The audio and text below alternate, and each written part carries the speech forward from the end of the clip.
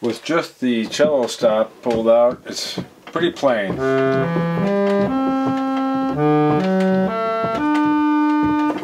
We can spice it up a little bit. Or a lot.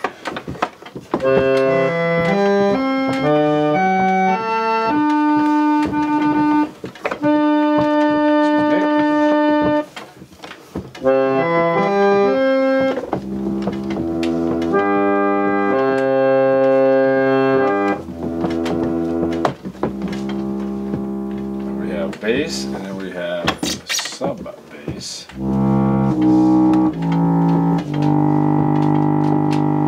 And then we've got the magic of the never ending keyboard.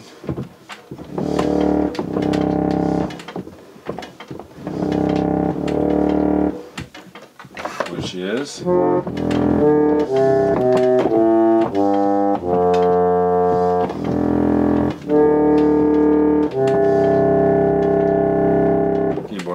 than you think.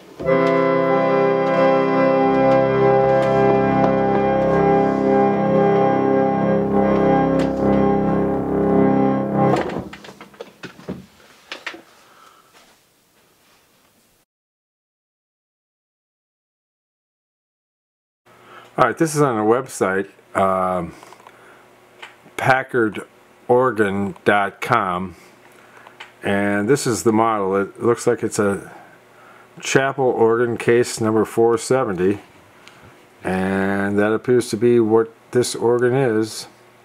They have a lot of different models on this uh, Packard website indicating that it was made uh, first started around 1898 and it says production well into the early 1900s whatever that means